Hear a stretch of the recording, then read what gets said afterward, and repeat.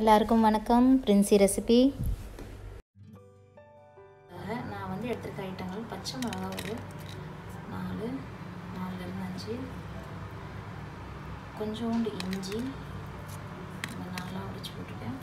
கொஞ்சம் வந்து கொத்தமல்லியோடைய அந்த தண்டுகள் அந்த என்ன சொல்கிறது அந்த இலை கிடையாது அந்த அடி பாகம்னு சொல்லுவாங்கள்ல கம்பு.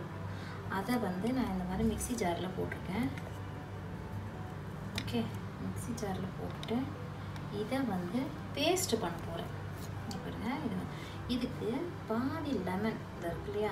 பாதி லெமனை வந்து நான் இதில் புழிஞ்சு விடுறேன். ஏன்னா நம்ம மீன் வறுக்கிறதுக்கு தானே யூஸ் பண்ண போகிறோம் ஸோ அதனால் நான் பாதி லெமனையும் இதில் புழிஞ்சு விடுறேன்.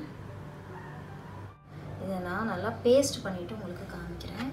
இதுலேயே கொஞ்சம் உப்பும் நான் போட்டுடுறேன் இது பாருங்க இந்த உப்பும் போட்டுடுறேன் ஸோ நான் இப்போ பேஸ்ட் பண்ணிட்டு உங்களுக்கு காமிக்கிறேன். நம்ம இந்த அரைச்ச பேஸ்ட் ரெடியாக இருக்குது மிக்சியில் அரைச்ச பேஸ்ட்டு இது ஒரு பக்கம் இருக்கட்டும். இப்போ நான் இதில் பொடி ஐட்டம்ஸ் போடுறேன். மசாலா ஐட்டம்ஸ் இதில் வந்து மஞ்சள் கொஞ்சம் போட்டுக்கிறேன். அடுத்தது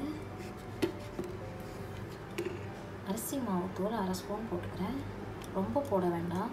ஏன்னா ரொம்ப போட்டோன்னே என்ன ஆயிரும்னா அந்த மசாலையோட அரிசி மாவு வந்து ரொம்ப ஹைலைட்டாக காமிக்கும். ஸோ அதனால் அரிசி மாவு குறைச்சிடலாம். அப்புறம் வந்து கொஞ்சோண்டு ஏன்னா நம்ம அதில் ஆல்ரெடி வந்து பச்சை மிளகாய் போட்டு தான் அரைச்சிருக்கேன். அதனால் நான் கொஞ்சமாக இங்கே பாருங்கள் சில்லி பவுடர் இவ்வளோ தான் அரை ஸ்பூன் போடுறேன். அஞ்சு அஞ்சுலேருந்து நாலு ஆமாம் நாலு பச்சை மிளகாய் போட்டிருக்கேன் நான் அதில்.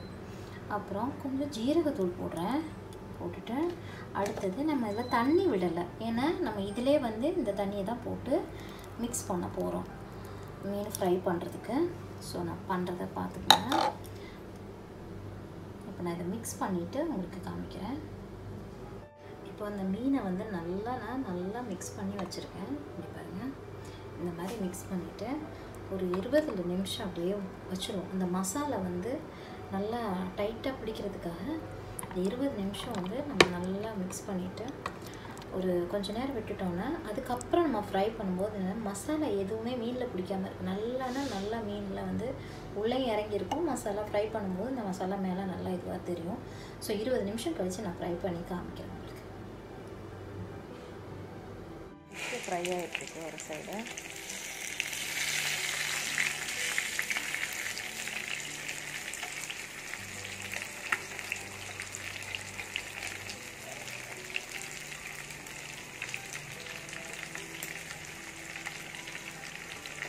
எல்லாத்தையும் ஒரு ரெண்டாவது ரவுண்டு டேர்ன் பண்ணி விடுறேன் ஃபஸ்ட் ரவுண்டு போட்டு டேர்ன் பண்ணி விடுறேன்